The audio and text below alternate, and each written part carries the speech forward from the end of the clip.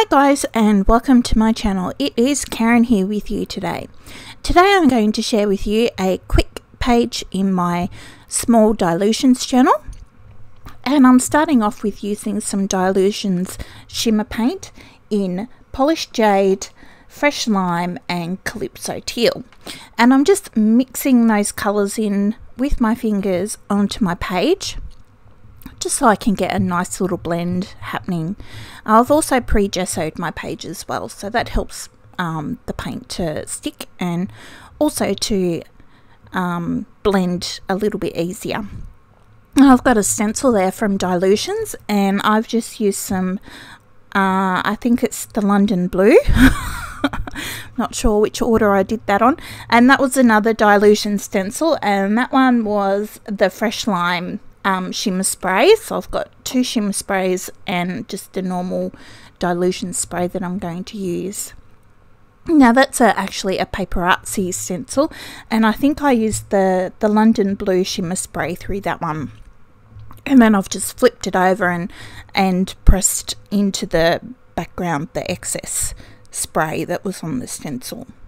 Now I've got some pink splatters and the pink is actually another shimmer paint. Um, it's called bubblegum pink. And I've just watered it down a little bit and used my fan brush to splash that onto my background. Because you know I love pink.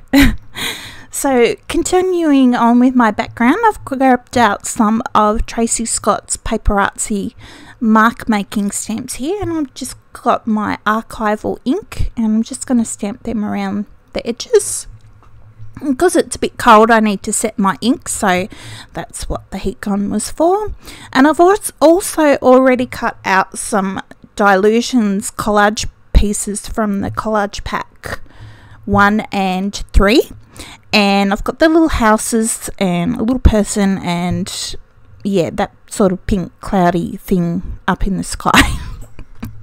So I'm just gluing them into place with some art glitter glue and I think that looks pretty cool. You can still see my background and the colours pop over the top. I'm um, just going to give my little girl some legs. And then I'm going to grab my white um, marker here. Oh, no, before I do that, I'm going to put on my sentiment. My sentiment is actually from Art by Marlene. And it says, if colour was music, my paintings would be doing the polka because I thought, well, this is really nice and bright. Now I've got out my white pen and I'm just going to doodle around the houses and put some extra details into their windows, the roofs, the doors, that kind of thing.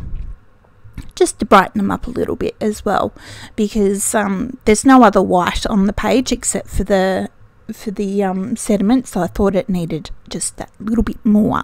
I've also got a little blue heart that I've cut out of some overspray sheets. I thought that looked cool. Putting a little bit of white ink around the outside, bit of a border, and that's it. It's a really super quick page today. It is in my little Dylusions journal, so it really didn't take very long at all to come together. So I really hope you have enjoyed my quick video.